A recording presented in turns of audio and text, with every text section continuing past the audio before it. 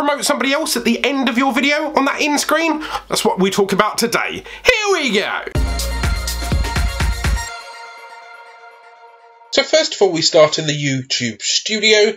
For you to add a channel link to your YouTube video, you click on videos on the left hand side. You then pick the video that you want to add an end screen to. Now you can add end screens using these buttons on the right hand side that says card and end screen, but those currently go to classic mode and will be removed very soon.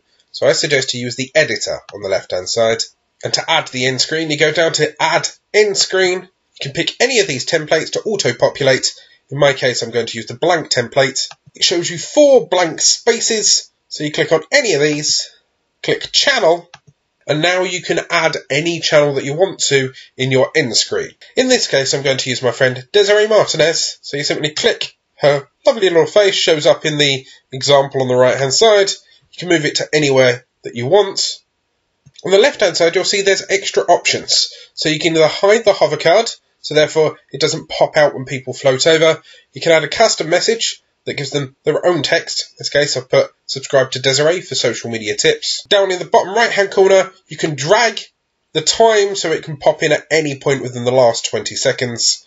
When you're done, you click save. But please make sure that you have at least one video or playlist element for it to save. If you want to learn how to do those, click on the playlist on the left hand side of your screen now.